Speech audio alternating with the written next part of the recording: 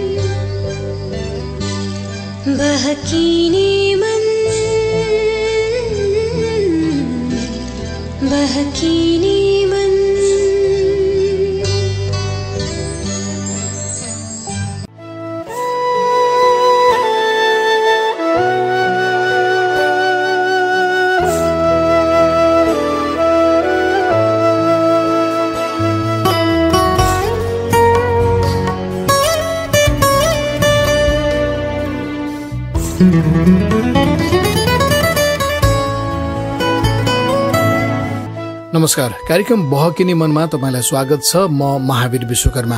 प्राविधिक कक्षमा भीम विश्वकर्मा हुनुहुन्छ। थाहा संसार नेटवर्क काठमाडौँबाट सोमबार बेलुकी नौ बजेदेखि दस बजेसम्म आउने यो कार्यक्रम बहकिने मन। देशभरिका एक सय पचासभन्दा धेरै रेडियोहरूबाट एकैसाथ प्रसारण भइरहेको छ।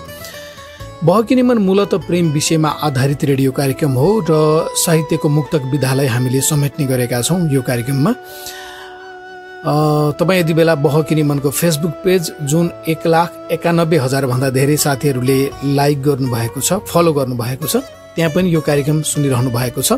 मेरो आफ्नै नामको युट्युब च्यानल छ महावीर विश्वकर्मा नामको। त्यो युट्युब च्यानलमा पनि तपाईँ आफूलाई पाएक पर्ने समयमा यो कार्यक्रम सुन्न सक्नुहुन्छ।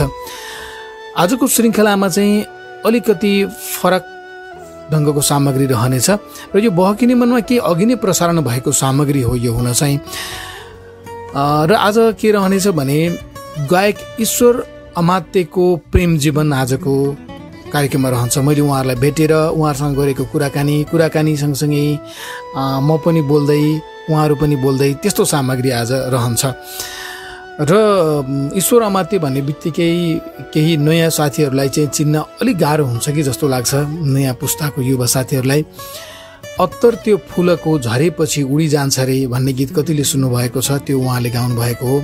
यसै गरी दिल जलेको कसले देख्छ र ओठको हाँसो जति देखेने भन्ने गीत। यसै गरी सबैले भन्छन् मान्छेको मन बदलिन कति बेर। पिपलु बोटैमा ऐजेरू पलायो जस्ता कालजयी गीतका गायक ईश्वर अमात्यको प्रेम जीवन आजको बहकिने मनमा रहन्छ। त्यो सामग्रीमा प्रवेश गर्नु अघि उहाँले नै गाउनुभएको एउटा गीत। अगाडि सार्छु र सँगै त्यो सामग्री क्रमिक रूपमा अगाडि बढ्नेछ। यसै पालि सुल्झिन्छ कि नसुल्झेका कुराहरू?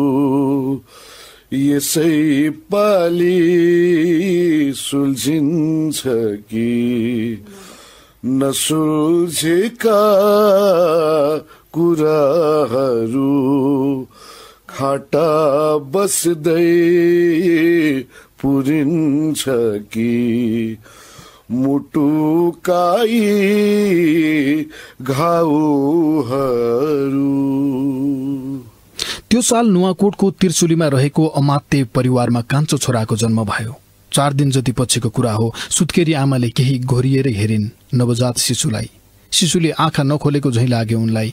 उनी आत्तिन छोराले देख्नै नसक्ने त होइन? उनको यो डर सही साबित भइदियो। ईश्वर अरूले जसरी देख्न सक्दैनथे।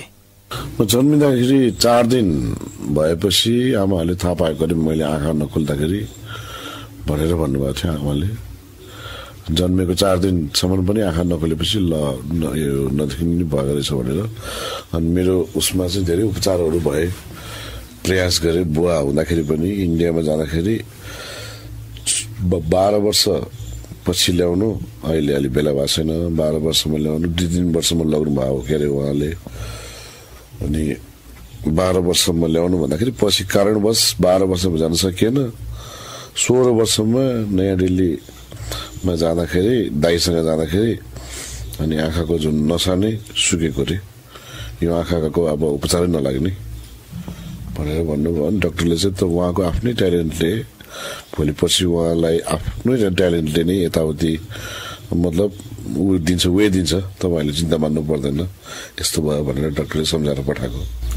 त्यो तपाईँको ट्यालेन्ट जुन थियो नि भाइ त्यो चाहिँ हजुर। कहिलेबाट तपाईँ त्यो गीत सङ्गीततिर म सानोदेखि नै हो है। पछि सानोदेखि नै हो उतातिर म बाँसुरी बजाउँथेँ पहिला बाँसुरीहरू यताउति बाजाहरू मादलहरू बजाउँथेँ। मौत हार्मोनियमहरू बजाउँथेँ। म सिक्नुभन्दा अगाडिसम्म पनि केही बाजाहरू बजाउने गीत सुन्ने फिल्म सुन्ने यस्तो सोख राख्थेँ। त्यो माहौलै त्यस्तो भयो कि मेरो भजन गाउने माहौल। बुवाहरू पहिला पहिला ए नाच्ने यताउति गर्नुहुन्थ्यो अरे पहिला पहिला मान्छेहरू त्यही त हो नि।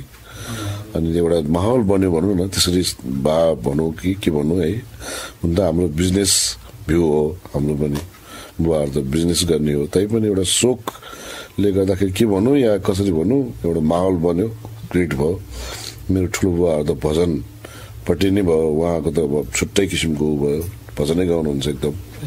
यस्तो यस्तो भएर मेरो उनी बाहिरी आँखाले देख्न सक्दैनथे तर सङ्गीतप्रतिको उनको रुचि भने अचम्मकी थियो? उमेरमा सानो तर गाउने बजाउने काममा भने अगाडि। उनको त्यो क्षमता देखेर अरूहरू पनि भन्थे यसले केही न केही चाहिँ पक्कै गर्छ। तर केहीले चाहिँ उनलाई होच्याएर पनि भन्थे आँखा देख्न नसक्ने भएकैले अनेक शब्दहरूले उनलाई अपमानित गर्न पनि पछि पर्दैनथे। तर ईश्वरले ती कुराहरू मनमा लिएर बसेनन् भुलिदिए अनि चुपचाप अघि बढिरहे। त्यो त अब माहौलमा भइ नै हाल्छ होइन। कोही केटाहरूमा त्यस्तो हुन्छ। केटा पहिला पहिला जिस्क्याएर कतिले जिस्क्याएर कुन शब्द बोल्या हुन्छ होइन। त्यो सबै कुरा याद गरेर बस्यो भने त आफूलाई नै अप्ठ्यारो पर्छ आजकल होइन। त्यसो त्यस्तो के याद गर्नु। अब कतिपय त अब यस्तो अन्धा भनेर मान्छेले कति भन्छ होइन। ठाउँमा कुनै ठाउँमा त्यस्तै पर्छ कि? यस्तो यादगार र राखी छोड्या भए अर्कै हुन्थ्यो त्यो भर्यो होला कतिपय मैले भनिहालेँ नि। जिन्दगीमा आरो अब्रो भन्ने कुरा भइ नै। हाल्छ त्यसमाथि दृष्टिविहीन मान्छेहरूले जुन भोग्ने भोगाइ छ नि प्राय हामीले सुनिआएको पनि हुन्छ होइन? त्यो चेन्ज परिवर्तन भन्ने कुरा पहिलाको र अहिलेकोमा अन्तर त केही सम्बन्ध भएको छ होइन? तैपनि रहिरहेको छ। अब त्यो परिवर्तन भन्ने कुरा अब खै कसरी हुन्छ भन्ने कुरा त्यो आफ्नो ठाउँमा छ। त्यो जति त्यस्ता शब्दहरू सुने पनि या आफूलाई होच्याएर भने त्यसलाई तपाईँ चाहिँ बोल्नुहुन्थ्यो है। म म मलाई मलाई म केयर गरिदिनु थिएँ कि किनभने मेरो त आफ्नै धुन हुन्थ्यो म्युजिकल है। म्युजिक हुने बेलाको चित्त पनि दुख्यो होला अब रोयो पनि होला होइन। सानो सानोमा त अब हुन्छ नि। तर पछि बुझ्ने भएपछि म त्यति त्यस्तो कुरामा अलिकति ऊ भएन भनौँ न। म आफ्नै धुनमा हुन्थेँ मेरो सङ्गीतमै धुन भयो उनलाई पढ्न मन थियो। पढ्यो भने ठूलो मान्छे बन्न सकिन्छ भन्ने सुनेका थिए। तर पढ्न त्यति सजिलो कहाँ थियो र? शिक्षामा मैले शिक्षा गर्ने ताल परेन भनौँ न। गाउँमा त्यति त्यतिखेर आमाले पठाउनु नसक्ने सानोमा है। अनि पछि मध्य बेलामा काठमाडौँतिर आएर म भर्नाको लागि कोसिस गर्दाखेरि कहिले के भन्ने कहिले के भन्ने आवत जावत गर्नुपर्छ। कहिले के के भन्ने के के भन्ने तालमेलै परेन के? अनि जसले गर्दाखेरि मलाई म्युजिक लाइनले नै बढी प्रेरणा दिए जस्तो मलाई झुकाउ दिए जस्तो उता उता ताने जस्तो हुने हुँदै गयो। परिस्थिति पनि त्यस्तै गर्दै ल्यायो। गरेपछि अब यही म्युजिकले नै मलाई अब बोल्न हाँस्न जे गर्न अथवा जुन मोडमा लानु छ यसले नै लान्छ। अब पढ्नु नपढ्नु भनेको आफ्नै किसिमको हो। म फेरि स्कुलमा पनि साथीहरूले केटाहरूले लान्थ्यो मलाई। उनीहरूले पढ्न गएको ठाउँमा उनीहरूले पढिरहन्थ्यो पढाइरहन्थ्यो म सुनिरहन्थेँ म चुप लाएर अनि मास्टरहरूले पनि खासै उ गरिदिन्थ्यो माइन्ड गरिदिन्थ्यो। त्यस्तै बीस वर्ष जतिको थिए क्यारे ईश्वरहरू नुवाकोटबाट काठमाडौँ आइपुग्दा। उनी काठमाडौँबाट अझै धेरै सिक्नेछु भन्ने चाहना थियो। काठमाडौँले देशैभरि चिनाइदिन्छ भन्ने बुझेका थिए अनि रेस्टुरेन्टमा गीत गाउन थाले। म होटलमा काम गर्थेँ। म महाराजगञ्जमा त्यही साथीहरूले गरेर म यहाँ काठमाडौँमा आइपुगेँ है। त्यसपछि म महाराजगञ्ज होटलमा काम गर्थेँ। मेरो पछि परिवारहरू पनि आइपुग्नु भयो भनौँ न। म खुसीमा बस्थेँ त्यतिखेर। यहाँ बस्दैन थिएँ खुसी बुबा बस्थेँ परिवारसँगै। त्यतिखेर म बस मैले गरेको होटेल जुन काम गरिरहेको होटेल पनि कारणवश बन्द हुनु। फेरि पोखराको जम्मै साथीहरू जुन म काम गरेको रेस्टुरेन्टको साथीहरू जम्मै त्यहाँ आवत जावत गरेर नि चिन्जान है गीत सुन्ने। उहाँहरू प्रभावित भएको थियो अनि मलाई पोखरामा लाने कुरा चलिरहेको थियो बेला बेलामा। संयोगवश म पोखरा गइयो। कास्टिङ सुरु भयो भनौँ न त्यो हाम्रो प्रेम सम्बन्धी। अनि त्यसपछि मैले काम गरिरहेको थिएँ। काठमाडौँको लेडिजहरू पनि राखेको थियो। पछि पहिला त्यहीँकै चलाइरहेको थियो पछि बिचमा काठमाडौँको लेडिजहरू झिकाएको थियो। त्यो चलाएपछि उनीहरूको पनि कन्ट्याक्ट सक्यो। पछि आफ्नै किसिमले चलिरहेको थियो त्यहीँकै लेडिजहरू बोलाएर के के गरेर चलिरहेको थियो। पछि संयोगवश अनि जोस्ना पनि मेरो मिसेस उसलाई पनि झिकाउने कुरा भयो। उसलाई कसरी कसरी पत्ता लगायो मान्छेहरूले मेट्रो मेट्रोबाट होइन? मान्छेहरूद्वारा रेस्टुरेन्टको होटेलको जुन मालिकहरूले पत्ता लगाएर कसरी कसरी उसलाई झिकायो झिकाएपछि अनि हाम्रो भेट भयो। नियतिले डोर्याउँदै पोखरा पुर्याएको थियो ईश्वरलाई। पोखराले गीत सङ्गीतमा अझै निखार्ने काम त गर्थ्यो नै। तर सोच्दै नसोचेको अर्को कुरा पनि जुराइदिने तर्खर गर्दै थियो पोखरा। आखिर जीवन भनेकै अकल्पनीय घटनाहरूको संयोजन पनि त हो नि। उनको जीवनमा पनि यस्तै भइदियो। एक्लै हिँडिरहेको मान्छेको जीवनमा कोही आउने संकेतको संयोग लगभग सुरु भएको थियो। उनी थिइन् जोस्ना मेरो माइती भन्नुपर्दा खासै भन्नुपर्दा कलकत्ता हो हाम्रो चाहिँ हामीहरू बङ्गाली हो होइन? तर पनि बङ्गाली चाहिँ खासै भन्नु पनि नमिल्ने। अब हामी त खासै भन्नुपर्दा सबैजना अब यहाँ बुवा मम्मी नै नेपालमा आउनुभयो र हामी जन्मेको नेपालमा। चारजना हामी चारजना दिदी भाइ चारजना हामी जन्मेको नेपालमा। अब अहिले बुवा मम्मी चाहिँ पोखरामै बस्नुभएको छ। पोखरामै हुनुहुन्छ। पोखरामै एउटा हिसाबले थाहै जस्तो नै भइसक्यो। हामी त नेपाली भन्दा पनि हुने भइसक्यो कि? एउटा हिसाबले चाहिँ। त्यतिखेर खास भन्नुपर्दा अझ म त्यहाँ पोखरा पनि थिएन। त्यतिखेर म चितवनमा तपाईँको यहाँ चितवनमा पनि तपाईँ गाउने सिलसिलामा म चितवन गएको थिएँ। त्यहाँ चितवन जाँदाखेरि अनि त्यहाँ चाहिँ त्यहाँ पनि हाम्रो त्यहाँ चाहिँ अब कार्यक्रम त्यतिखेर त्यहाँ सकियो खासै भएन। पछि फर्केर यहाँ काठ पोखरा आएँ। पोखरा आउँदा ठ्याक्कै त्यही रेस्टुरेन्टमा भेट भएको हाम्रो एकैचोटि। ईश्वर जुन गजल रेस्टुरेन्टमा गाउँथे जोस्ना त्यही गाउनका लागि आइन्। त्यसअघि दुवैले एकअर्काको बारेमा सुनेकासम्म नै थिएनन्। मान्छेहरू भन्छन् जे लेखिएको हुन्छ त्यो भएरै छाड्छ। अब लेखान्तको कुरामा विश्वास गर्ने नगर्ने त्यो त व्यक्तिपिच्छे फरक फरक धारणाहरू होलान्। तर पनि यति चाहिँ भन्न सकिन्छ कि जिन्दगीमा कहिलेकाहीँ नसोचेका कुराहरू भइदिन्छन्। जोस्नासँगको पहिलो भेट ईश्वरलाई आज पनि याद आउँछ। भेटघाट भयो एकजना बहिनीले ल्याएर होइन।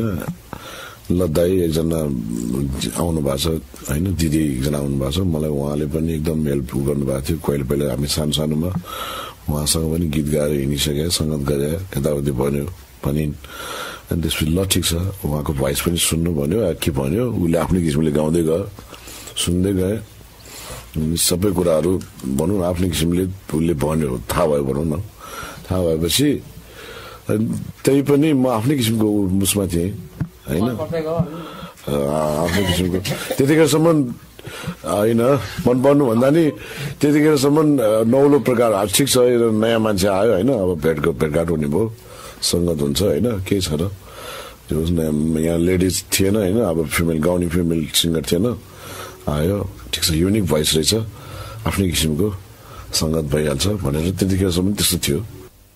त्यसपछि उनीहरूको काम सँगै हुन थाल्यो। उनीहरू सँगसँगै हुन थाले। ईश्वर गीत सङ्गीतको बारेमा सिकाउँथे पनि जोस्नालाई। त्यसअघि एक्लै गीत गाउने ईश्वरले त्यसपछि भने साथी पाएका थिए। एक्लै गाउनु र सँगै गाउनुमा केही फरक पनि थियो। केही आनन्द लाग्थ्यो। केही अपुरा कुराहरू पुरा भए चाहिँ लाग्थे। दाइ र भाउजूले जुन त्यो के अरे गजल रेस्टुरेन्ट होइन अनि त्यहाँ तपाईँहरू दुईजनाले युगल गीत गाउनुहुन्थ्यो दुवैजनाले हजुर फिल्मी गीतहरू यसो प्रायः तपाईँहरू दुवैजनाले बढी गाउने गीत चाहिँ कुन थियो याद छ त्यति बेलाको त्यो एउटा इन त्यो एउटा फिल्म छ कि के अरे यो गीत चाहिँ हो साथी तेरा प्यार पूजा आयो भन्ने गीत छ कि त्यही हो त्यसको पहिलो थोरै गाउन मिल्छ अरे। हिन्दी गीत हो। भाउजूले पनि छोटो छोटो हिन्दी नै होला भने तपाईँहरूको त याद कि त्यति गाउँथ्यो हजुरले पनि छोटो थपिदिनु ल।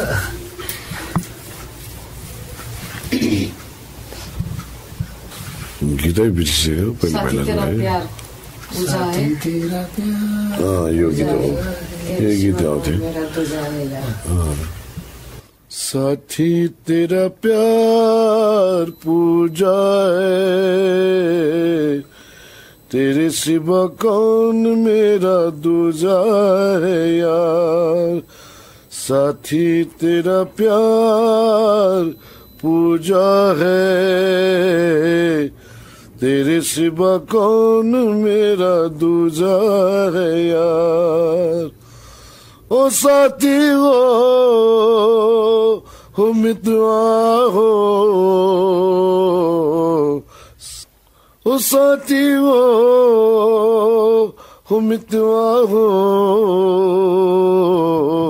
साथी, तेरा प्यार पूजा है।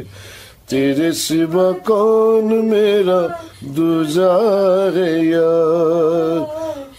साथी तेरा प्यार है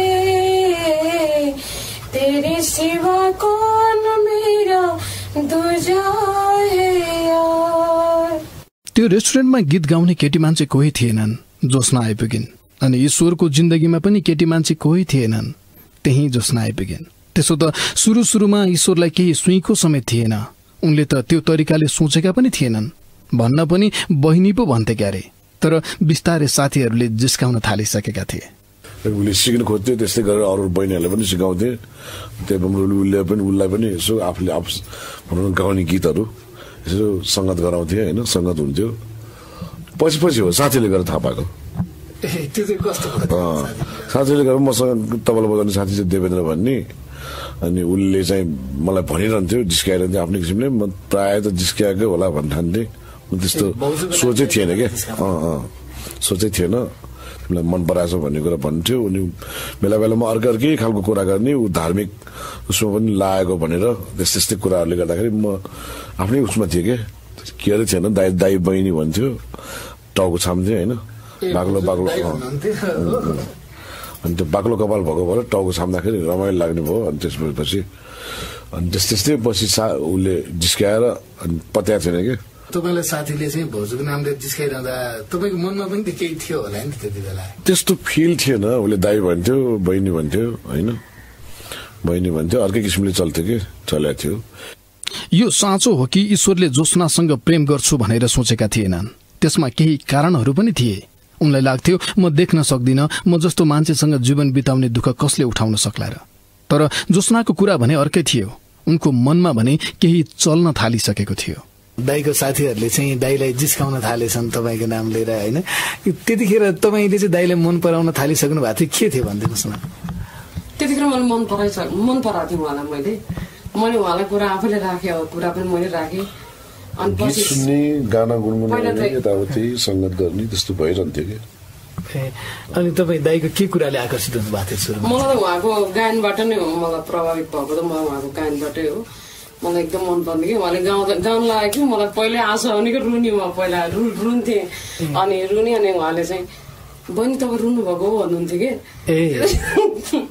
कसरी थाहा हुने रहेछ उहाँलाई? पनि थाहा भइहालेछ कि फेरि? तिनताका दाईले गाउने तपाईँलाई एकदम मन परेको गीत याद छ भाउजू अहिले।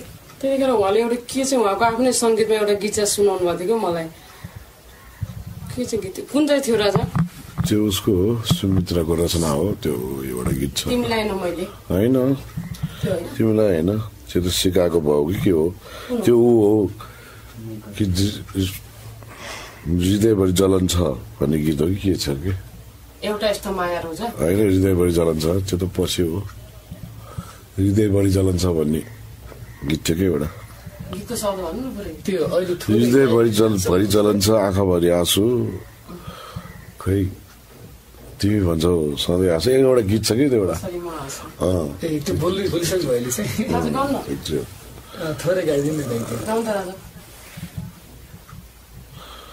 त्यो एउटा के अरे साथीले लेखेको गीत हो त्यो एउटा सङ्गीत गरेर अनि उसलाई सुनाएको थिएँ। अनि ऊ यो गीतमा ऊ आफ्नै किसिमले ऊ भएको थियो कि? आफ्नै हो।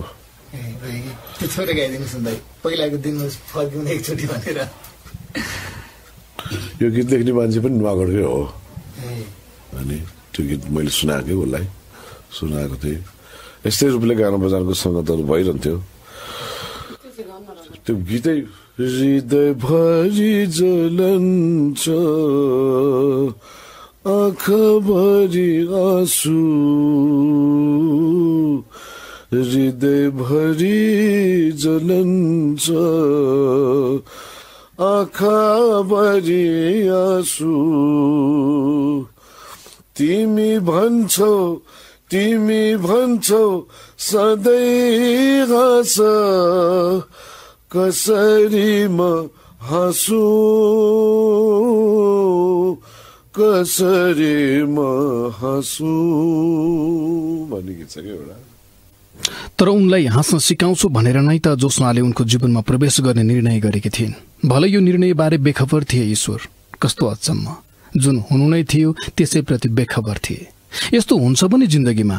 जिन्दगी भनेको यस्तै सरप्राइजहरूको पोको पनि त हो। त्यो पोको उनको जीवनमा पनि फेला पर्नु के नौलो भएर। मलाई उहाँप्रतिको भाव भन्नुपर्दा चाहिँ उहाँ चाहिँ अब एक त एक ब्लाइन्ड पनि हुनुहुन्छ होइन? ब्लाइन्ड हुनुहुन्छ। त्यसमा पनि ब्लाइन्ड भन्नुभन्दा पनि उहाँको एउटा जुन उहाँको प्रतिभा छ नि त्यो प्रतिभालाई हेरेर चाहिँ म चाहिँ बढी आकर्षित चाहिँ उहाँको त्यो त्यसमा चाहिँ त्यो कलामा प्रभावित भएको गायन गायन पनि उहाँको। अहिले पनि मलाई धेरै मनपर्छ। पहिला पहिला पनि म भने गाउँदा धेरै रुने कि? मन पऱ्यो। मलाई खासै प्रभाव परेको भनेको उहाँ गायनबाट नै मन पऱ्यो। त्यही नै मेरो खास त। अनि तपाईँले त्यो गायन मन परे पनि जीवनसाथीकै रूपमा चाहिँ म उहाँलाई अप्नाउँछु या उहाँसँग नजिक हुन्छु भनेर सोच्नु त एउटा चुनौती थियो नि त्यति। त्यति सहज कुरा थिएन। अनि तपाईँले कसरी निर्णय गर्नुभयो त्यो चाहिँ? तर मेरो लागि त सहजै हो। सहजै थियो। मैले उहाँलाई नै आफैले कुरा राखेँ यो आफ्नो अब कस्तो हुन्छ भने एउटा के सोचाइ मेरो पहिल्यैदेखिको सोचाइ के थियो भने एउटा जीवन मान्छे एउटा जब आफू जन्मेछु होइन जन्मेछु म शारीरिक रूपमा एउटा सही ठिक छु भने मैले कसैलाई सहयोग गर्न सक्छु। मेरो फेरि एउटा हिसाबले उहाँलाई एउटा सहयोग भाव पनि भयो। अनि जीवन साथीको रूपमा पनि पाउनु पाउँदा त एउटा कति खुसीको कुरा छ नि। सबभन्दा ठुलो कुरो आर्ट हो। आफूले आर्ट गर्न सक्यो भने गर्न नसक्ने कुरा केही पनि छैन मलाई त्यो लाग्छ। त्यही भएर मैले हरेक कुरालाई यसरी समेटेर नै मैले उहाँलाई साथ दिएको एउटा कुरा त्यो पनि एउटा आर्ट पनि ठुलो कुरो म मान्छु एउटा त्यो पनि हो। तपाईँले दाईलाई आफैले भन्नुभयो है? मैले राखेको के भन्नुभएको थियो त्यति मैले उहाँलाई के भनेको थिएँ भने एकैचोटि होइन। साथीहरूलाई गरेर पछि पछि अलि उसले आफ्नो इन्डाइरेक्ट रूपले भनेपछि अनि पछि मैले आफ्नै किसिमले कुरा गरेँ। मलाई भेका ऊ पनि थिएन नि त्यतिखेर त यस्तो होला भनेर। भाउजूले सिधै तपाईँसँग भन्नुभयो कि दाईसँग कि अरू साथीहरूको माध्यम साथीहरू माध्यमबाट पनि हो पछि अनि मसँग पनि ऊ भयो।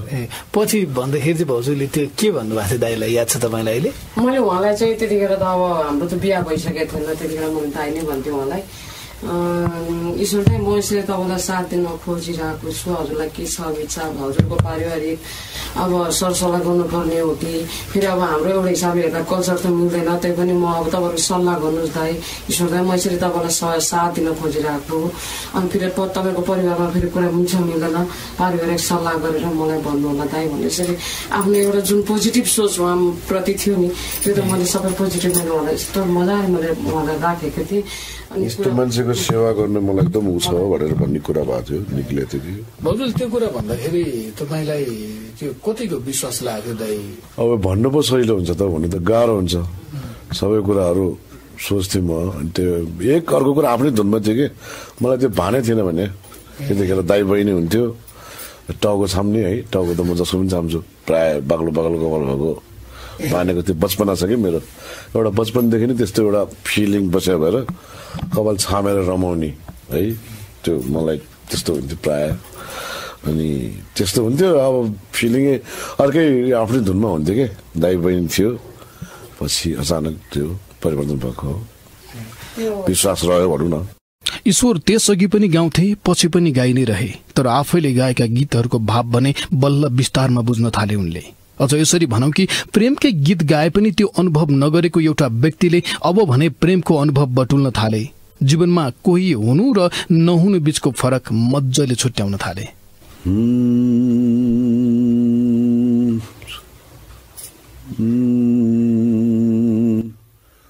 ओठको मुस्कान पनि हो माया ओठको मुस्कान पनि हो माया। नदीको बेग पनि हो माया। कहिले हुरीले झारेको फुल कहिले हुरीले झारेको छारेको फुल तर अत्तर सरी मगमगाउने माया। तर अत्तर सरी मगमगाउने माया। ओठको मुस्कान पनि हो माया। सबै भन्छन् हरेकको जीवनमा एक न एक पटक प्रेम सम्बन्ध आइदिन्छ। त्यो सम्बन्धसँग कसै गरी पनि जम्का भेट भइदिन्छ मान्छेको। उनीहरूको जीवनमा पनि त्यो भइदियो। उनीहरू पनि प्रेम गर्न थाले तर त्यो प्रेम सम्बन्ध अरूहरूको जस्तो पनि भइदिएन। घुम्न जाउँ रमाइलो गरौँ उपहार दिउँ भन्ने जस्ता रहरहरू आएनन् सायद दुवैमा ईश्वर व्यवहारिक थिए अनि जोस्ना परिपक्व। नत्र ईश्वरको दृष्टिबिन अवस्थालाई सहर्ष स्वीकार्नु त्यति चान्चुने कुरा कहाँ थियो र? पोखरामा जब सुरुमा त दाई बहिनी नै भन्नुहुन्थ्यो तपाईँहरू। पछि जब तपाईँहरू बिचमा प्रेम सम्बन्ध स्थापित भयो त्यसपछिको दिनहरू चाहिँ कस्ता भए? दुवैजना कहिले काहीँ अब भविष्यको कुरा पनि हुन्थ्यो होला तपाईँहरूको बिचमा अब जिन्दगी यसरी बिताउने भन्ने कुराहरू पनि हुन्थ्यो होला। कस्तो हुन्थ्यो त्यस्तो खालको गफ चाहिँ खासै भएन। है भविष्य यताउति के गर्ने यताउति त्यस्तो खालको गहिरो हाम्रो अजीबको थियो क्या हाम्रो अजीबको थियो। ऊ पनि धार्मिक उसमा लागेको। हाम्रो हाम्रो प्रेमको घटना चाहिँ कुनै त्यस्तो रोचक रोमान्टिक होइन? त्यस्तो केही पनि भएन। अरू जस्तो भएन हाम्रो छुट्टै किसिमको भनौँ न अब त्यो। भावमय भनौँ या होइन अब यता आफ्नो धुनमा पनि चलिरहन्थ्यो आफ्नो गाना बजाना चलिरहन्थ्यो। सदा चाहिँ व्यवहार मेरो आफ्नै किसिमले भइरहन्थ्यो होइन। अब भनौँ न त्यस्तो यस्तो भावले सोचेछ भनेर भावै थिएन कि त्यतिखेर। होइन एउटा फरक त हुन्छ नि त जस्तै हिजोसम्म हजुरले अब बहिनी भन्थ्यो बोलाइरहनु तर अब चाहिँ ऊ मेरो प्रेमिका हो भनिसकेपछि त अब तै पनि बहिनी भन्थेँ मैले अँ। बहिनी भन्थेँ मैले बहिनी भन्थेँ त्यतिखेर मैले भनिहालेँ नि तपाईँलाई कुरा त भयो होइन। बहिनी भन्थेँ अनि बहिनी भनेर अब उसँग भेटघाट छुट्यो काठमाडौँ आएँ नि म। काठमाडौँ आएर सल्लाह गर्छु भनेर काठमाडौँ आएँ नि। आएपछि अनि परिवर्तन भयो भनौँ न। परिवर्तन भयो घर सल्लाह भयो। घर सल्लाह भएपछि अब ल भन्यो। अनि पोखरामा अब दाई जाने। मैले अघि जस्तै हिजोसम्म भन्दा अझ बढी चाहिँ भाउजूको केयर गर्न मन लाग्ने या हिजो चाहिँ अब सामान्य अब परिवार सम्बन्धी सोध्दै सोच्दै हुनुहुन्थ्यो कि उहाँले सोधिरहनु भएको छ? होइन मैले भनेको चाहिँ त्यही बेला पोखरामा जति बेला तपाईँहरू सँगै गाउनुहुन्थ्यो अब त्यो अब कुरा छिचोलेपछि चाहिँ के दुवैजनाले एकअर्कालाई अब चाहिँ हामी मन पराउँछौँ भनिसकेपछि त्यो बढी ख्याल गर्न मन लाग्ने अब भाउजू कता हो भने जस्तो त्यस्तो केयर गर्न मन लाग्ने त्यस्तो हुन्थ्यो कि हुन्थेन भनेर चाहिँ। त्यस्तो खालको माहौल खास सायद माहौल परे भए त हुन्थ्यो होला। त्यस्तो खास माहौल पनि परेन होइन? जस अर्कै किसिमको अर्कै किसिमले चल्यो भनौँ न हाम्रो। अर्कै किसिमले चल्यो। त्यो अर्कै भयो कि? जब भाव बसेपछि त्यो अर्कै भयो नि दायाँ बायाँ होइन? भन्ने नै कुरा भएन। विश्वासको आफ्नो ठाउँ छ होइन? हाम्रो अर्कै किसिमले चल्यो क्या अहिलेको मान्छे भनौँ नयाँ नयाँ मान्छेहरू जस्तो होइन? अब पानी बिनाको माछा के के भन्छ नि? दुनियाँ दिवाना होइन? अब अनेक अनेक छ नि अहिले त। फिल्मी सिस्टम। त्यो फिल्मी सिस्टम भएन ल सिधा भन्नु पर्दाखेरि किनभने ऊ पनि धार्मिक वेमा गएको आध्यात्मिकतिर गएको भयो होइन? अनि उसको आफ्नै किसिमको माहौल क्रिएट भइसकेको भयो होइन? त्यही भएर उसको कुरा गराइ यताउति हाउभाउ सब आफ्नै किसिमको थियो होइन? अहिले मेरो पनि आफ्नै किसिमको म त्यो पनि आफ्नै किसिमको माहौल भयो। सायद यही भएर होला हाम्रो आफ्नै किसिमले गयो मन आत्मीय प्रेम भनौँ कि के भनौँ अब त्यो आफ्नो त्यसरी गयो भनौँ न ल होइन? हाम्रो कुनै रोचक त्यस्तो भएन। हजुर त्यति बेलादेखि नै भजन पनि गाउनुहुन्थ्यो। अनि तपाईँलाई चाहिँ त्यो कहिले अरूको जोडीहरू देख्नुहुन्थ्यो होला? नि पोखरा भनेपछि त अझ झन् त्यो प्रेम गर्नेहरू घुम्ने ठाउँ पनि प्रशस्त छन् त्यहाँ त। हजुरलाई कहिले दाईसँग सँगै घुम्न पाए अरू जोडी जस्तै सँगै हात समाउँदै हिँड्न पाए नि हुने भने त्यस्तो लाग्थ्यो लाग्थेन। त्यस्तो जुन अहिले बाहिर जुन प्रेमको विषयलाई लिएर भन्नुभयो त्यो जुन देखावटी माया प्रेम जस्तो छ नि अहिले पहिलादेखि पहिला पनि छ त्यस्तो कुराहरू। त्यो हिसाबमा चाहिँ मलाई चाहिँ त्यस्तो चाहिँ म चाहिँ फ्रिडम भएर त्यस्तो भएर अलिक खासै त्यस्तो खासै भएन? सीमित नै रह्यो क्या हामी चाहिँ त्यही भएर खास अ, त्यो रहर पनि लाग्थेन सँगै जस्तै घुम्न जाउँ। मलाई रहर भन्दाखेरि के भयो भने उहाँसँग सँगै बसेर म अब त्यहाँ गजल रेस्टुरेन्टमा सँगै पाउँथेँ। उहाँसँग कुनै। कार्यक्रममा जाँदा सँगै जानु पाउँथेँ। त्यस्तो त्यस्तो विषयलाई लिएर चाहिँ खुसी लाग्ने त्यो चाहिँ थियो क्या मलाई चाहिँ। जस आफ्नै विषयभित्रै रहेर त्यो चाहिँ त्यसमा खुसी लाग्थ्यो क्या मलाई चाहिँ। धेरै गर्व लाग्ने क्या उहाँलाई लिएर म आफू लिएर हिँड्नु पाउँदा। धेरै गर्व फिल हुन्थ्यो कि। मलाई त्यो चाहिँ खुसी लाग्थ्यो मलाई। त्यतिखेरको घडीमा पनि यही नै थियो कि कुराहरू। अक्सर धेरैजना प्रेम गरिरहँदा त्यति परसम्म सोच्दैनन्। जे हुन्छ हुन्छ भनेर अघि बढ्छन्। आज प्रेम गरौँ न भोलिको के कुरा भन्ने सोच्छन् यसलाई गलत नै त भन्न मिल्दैन जिन्दगी बाँच्ने आफ्नै तरिका हो। तर केही परसम्म सोचेर पाइला चालियो भने भोलि आइपर्ने चुनौती कसरी सामना गर्ने भनेर आज नै तयार रहन सकिन्छ। सायद यस्तै सोचेकी थिइन् जोस्नाले उनको लागि मानसिक रूपमा तयार भइरहनु आवश्यक थियो। आज प्रेम गरेको व्यक्तिसँग भोलि विवाह गर्ने कुरा गर्दा त्यहाँ परिवारको कुरा पनि आउँछ भन्ने थाहा थियो। सबै सोचेर नै पाइला अघि बढाएकी थिइन् उनले। परिवारसँग कुरा गर्ने त्यो दिन आयो पनि उनको परिवारले अनुमति दिएन तर जोस्नालाई परिवारको निर्णय चाहिएको थिएन। उनी त आफ्नो फैसला सुनाउन मात्र चाहन्थिन्। परिवार चाहिँ यस्तो कुराहरू त मान्दै मान्दैन नि एउटा कुरा त परिवार त सहमत हुँदै हुँदैन तै पनि अब आफूलाई एउटा आफूले नै अब आफ्नो इच्छाको कुरा भएन आफ्नो अब आँटिसकेपछि आँट्ने कुरा भयो नि त आफ्नो होइन परिवार त मान्दै मान्दैन नि यस्तो कुराहरू त कहाँ मान्छ अब त्यसमा पनि उहाँ लाइन हुँदाखेरि अब आँखादेखि नै सँगै जाँदाखेरि त परिवारले कतिपय कुराहरूमा कति हस्तक्षेप गरिरहेको हुन्छ मान्दैन नमान्ने हुन्छ कति हुन्छ नि कतिपय परिवार व्यस्त घटनाहरू भइरहेको हुन्छ तर हाम्रोमा चाहिँ म कस्तो भयो भने परिवार मान्दै मान्दैन म आफै हिसाब अनि आफैले कुरा राखेर म आफै नै भागेर आएको खास। ए परिवारले चाहिँ हुँदैन नै भनेको त्यति बेला? म यसरी काठमाडौँ आइसकेपछि नि बुवा आउनुभएको थियो मलाई लिनलाई। अनि छोरी कसरी यसरी आइस् त अब आँखा नदेख्ने हुनुहुन्छ रहेछ। अब कसरी जीवनयापन कसरी चल्छ के कसरी चल्छ भनेर यसरी के सोचेर आएको त भन्ने खालको एउटा पारिवारिक एउटा बुवाको जिम्मेवारी। एउटा बुवाले भन्नुपर्ने कर्तव्य बुवाले बोल्नुपर्ने एउटा शब्दहरू बोल्नुभएको थियो बुवाले चाहिँ। तपाईँ मान्नु भयो भए चाहिँ उहाँहरूले फर्काएर लिएर जाने गरी आउनुभयो तर मैले चाहिँ बुवालाई के भने म आइसकेँ म जान्न जस्तो पनि म जस्तो व्यक्तिलाई मलाई पहिलेदेखि नै एउटा सेवा भाव मलाई पहिलेदेखि नै एकदम जागृत भइरहेको थियो मलाई पहिलेदेखि नै। त्यो भावले पनि होला म अहिलेसम्म टिकिरहेको पनि छु टिक्छु पनि भन्ने मलाई त्यो आँट छ मलाई भित्र आफ्नो किसिमको एउटा आँट बल हुन्छ भित्र त्यो छ ममा त्यो आफ्नो ठाउँमा छ। त्यस्तो त्यो चाहिँ बुवालाई चाहिँ मैले सम्झाइ बुझाइ गरेँ मैले बुवालाई चाहिँ मैले पठाएको। सबैले भन्छन् मान्छेको मन बदलिन कति बेर। दो बाटो भेटे बिर्सेर माया मोडिन कति बेर। हो मोडिन कति बेर। जिन्दगी सोचे जस्तो सजिलो त कसको पो हुन्छ र? सोधेथे जिन्दगी कतिको दुःखदाई एकछिन मौन रहे फिस्सा हाँसेझै गरे माथितिर मुन्टो फर्काए। भुइँतिर हेरिरहेकी भाउजूले एक झमट ईश्वरको त्यो अप्ठ्यारोपनमा पुलुक्क आँखा लगाइन्। ईश्वर नबोलेपछि कुराको टुङ्गो लगाउने जिम्मा उनकै थियो। केही बोलिन् तर अस्पष्ट गरी। भनिन् पीर नपरेको मान्छे को होला र बाबु? हामीसँग पनि छन्। तर केही पीरहरूलाई मनभित्रै दबाउनु पनि हितकर हुँदो रहेछ। मलाई उनको जवाब चित्त बुझ्यो। अनि फेरि फेरि त्यही प्रश्नले कोट्याउनु त्यति उपयुक्त लागेन। बरु यही गीतमा सहमति जनाइदिए। कसले ओठको हाँसो जति देखे नि।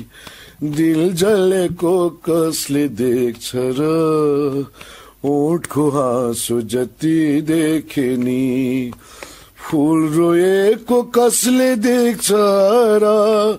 फुल फुलेको सबले देखे नि सबले देखे नि दिल जलेको कसले देख्छ र? ओठको हाँसो जति देखे नि फुल रोएको कसले देख्छ र? फुल फुलेको सबले देखे संसार बाहिरी आवरण मात्रै देख्छ भित्री अनुभूति महसुस गर्न सक्दैन। त्यसो त दुनियाँलाई के चासो भोट गर्नमा आँप खान पाए भइगयो नि।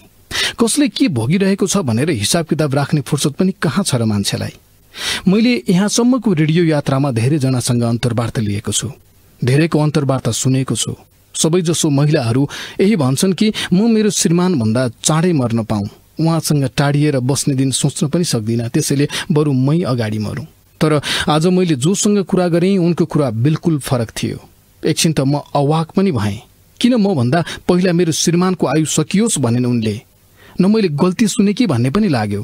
तर जब उनले आफ्नो कुरा विस्तारमा सुनाइन् साँच्चै उनीप्रति श्रद्धाले शिर झुकाएँ मैले। कुनै पनि श्रीमतीले भन्दैन कि श्रीमान चाहिँ के अरे बितोस् जाओस् मरोस् भन्ने खालको कुनै पनि श्रीमतीमा त्यो कामना हुँदैन त्यस्तो खालको इच्छा कसरी कुनै पनि नारीले राख्दैन। उहाँ ब्लाइन्ड हुनुहुन्छ उहाँलाई चाहिँ अब आफूले हेरेको जस्तो हुँदैन। सक अझ खास भन्नुपर्दा मलाई के लाग्छ भने भगवान्ले हाम्रो कामना मेरो हाम्रो पुकार सुन्नुहुन्छ भने त हामी दुईजना नै सँगै बित्न पाए झनै राम्रो। कसैको बिहेमा कोही रुनु पर्दैन।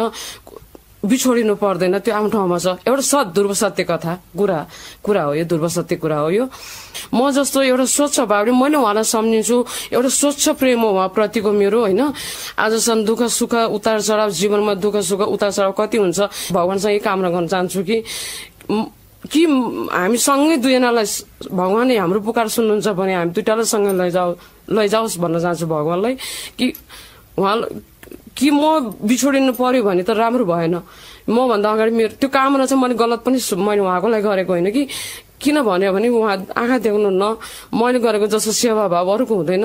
त्यस्तो भएर बिछोडिनु त्यस्तो हिसाबले जान सकिएन भने पनि दुईजनासँगै जान सकिएन भने पनि बिछोडिनु पर्यो भने पनि मभन्दा अगाडि मेरो श्रीमानलाई भगवान्ले मेरो मेरो संरक्षकमै हुँदा हुँदा मेरो श्रीमान चाहिँ अगाडि जाओस् भन्ने मेरो कामना चाहिँ भगवान्सँग त्यही हो। तर कुनै पनि श्री- श्रीमतीले चाहन्न कि आफू विधा विधवा होस्।